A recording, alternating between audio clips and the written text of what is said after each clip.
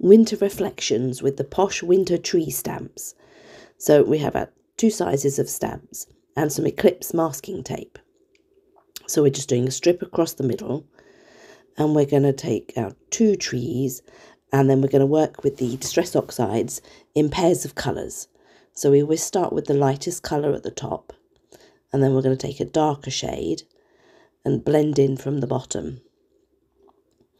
So the tree, the trees that we're doing today are pinks and purples. A couple of spritzes and then stamp the first one and if it's wet enough stamp again. If not add a little more water. The smaller tree is going underneath the masking tape for our reflection. So we'll clean off those colours and we'll move on to the next pairing.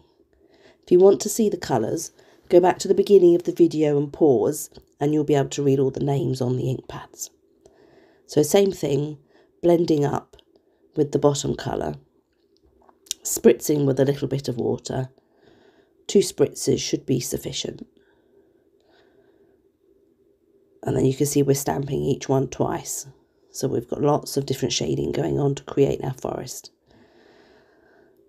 And we've used six different distress oxides on this card. So now we're going to go with the final pairing.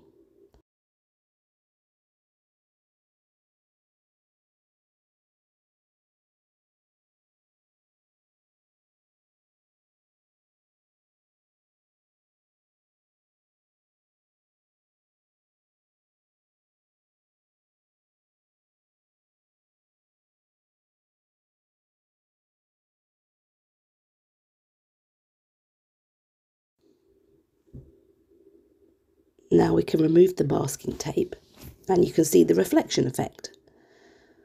So we're going to now stamp some words in that space that we've created and we're using Christmas wishes. So we're going with a black ink to give it some good contrast.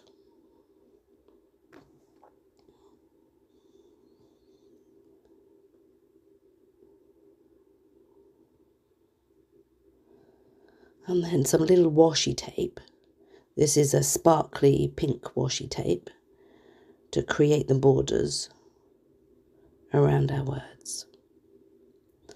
So you just wrap that around because it's sticky. And a little bit of stickles on the treetops just for some glistening snow effect maybe.